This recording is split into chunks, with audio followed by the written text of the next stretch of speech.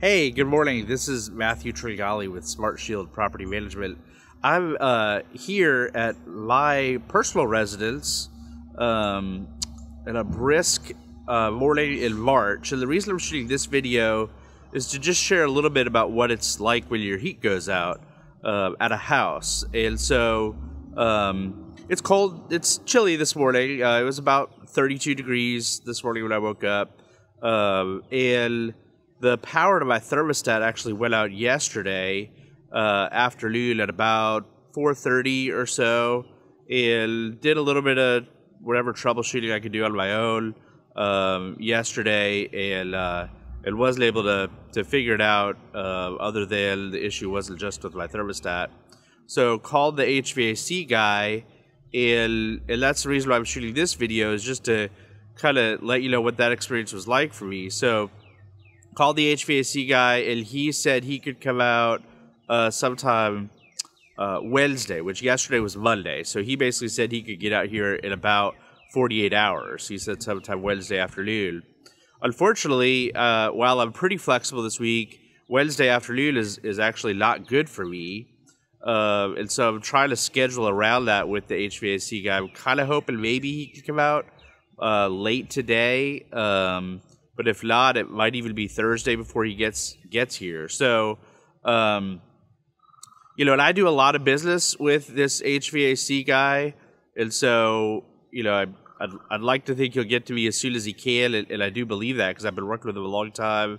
He's a very uh, respectable, reputable, licensed guy that really knows what he's doing. But just want to kind of give you that experience that even for me as a homeowner and as somebody in this industry with with good network connections it might take two or three days before i get somebody out here to address this issue with the heat and get the heat back on.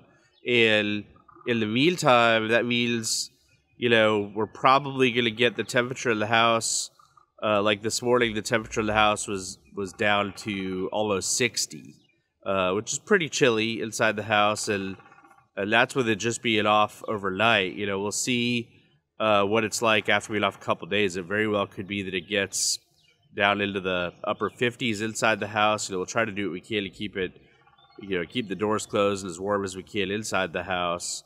Um, and you know, we'll have a decision to make if you know if we want to go check into a hotel. Maybe we will. I actually have family coming into town to visit today, which is super inconvenient. You know, they're coming into town while the heat's out. They're going to be here all week, and so uh, it's it's frustrating and it's disappointing. But uh, but just wanted to share with you that it's kind of normal, you know, especially certain times of year when the seasons start to change is when HVAC companies tend to get really busy. So in the in the spring when things start to switch from you know being really cold to really hot, which right now it's mid March, so you know kind of getting to be that time of year or in the fall when things switch to being warmer to colder is when there tend to be a lot of HVAC issues and the HVAC companies get really busy. So anyway, I just wanted to share that experience with you that um, you know if you're a tenant with Smart Shield Property Management, we hope your heat or air never goes out. Uh, but when it does, we know, I know personally, it's really inconvenient. I have small children in the house. I have family coming over. It's it's always really inconvenient. And um, and if it takes two or three days to get the tech out there, trust me, we're doing everything we can to get you know get your property serviced as quickly as we can. But sometimes the situation just sort of is what it is. So. Uh, so if that's your experience, it has taken a few days to get the situation addressed. And then, by the way, you know, so went out Monday.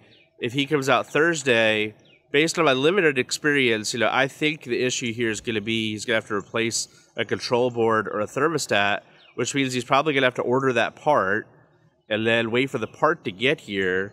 It wouldn't be surprising if I'm without heat for a week. It wouldn't be surprising if that part doesn't get here until next Monday, and then he comes back out and gets it swapped out and gets the heat turned back on. So I very well may be without heat for a week. Um, and that's just pretty normal, even for us as, as homeowners in the industry. So, anyway, uh, just wanted to kind of you know, share my experience with you, let you know that we feel your pain if you are without heat or air right now and reassure you that we're doing everything we can to get that fixed as quickly as possible.